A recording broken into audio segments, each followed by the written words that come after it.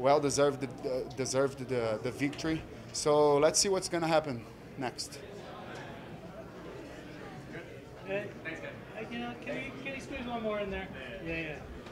You sang for us in Minneapolis. You sang Purple Rain for us. because we're in Minneapolis, Oh Princess my gosh, Rain. man. Can, can we make you reprise that, or do you have, did you pick out like a North Carolina singer to do something? Not really, you know, week? not really. I was, but I really like Purple Rain. Let's see.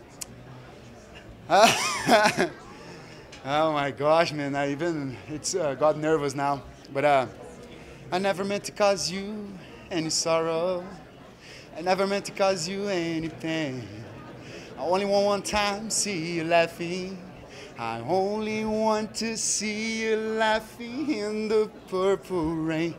Purple rain, purple rain. Yeah! I love that song, bro. Thank you, guys. Thank you.